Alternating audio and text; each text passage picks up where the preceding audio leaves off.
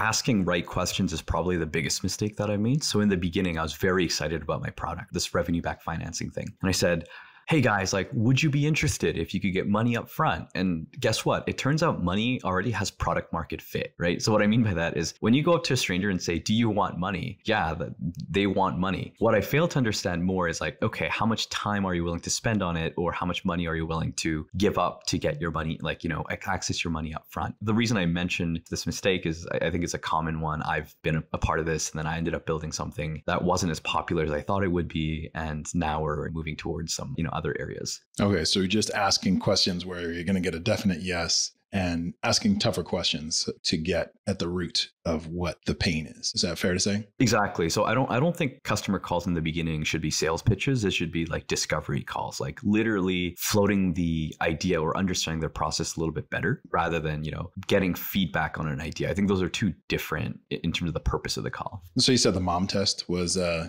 good place to go. Yeah, I, I, found that book very helpful. It was recommended by my co-founder, who has been you know part of different startups in the past, and I you know I learned a ton from that book.